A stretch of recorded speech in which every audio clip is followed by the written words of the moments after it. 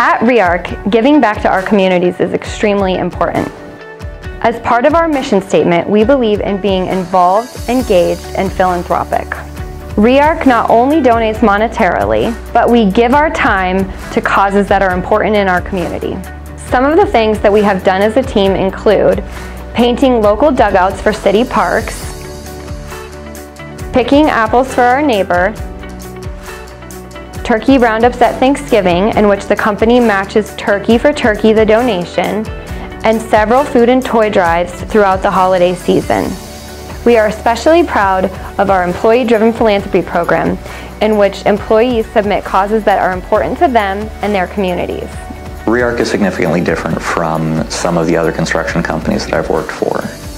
If nothing else, I have absolutely no doubt that this company cares about the community. We recently had the opportunity to apply for funding for different projects or organizations uh, that we as employees felt very strongly about. I personally ended up applying for a project where uh, a local artist collective had volunteered to work with a nonprofit serving children in the area to come up with a new mural for their space.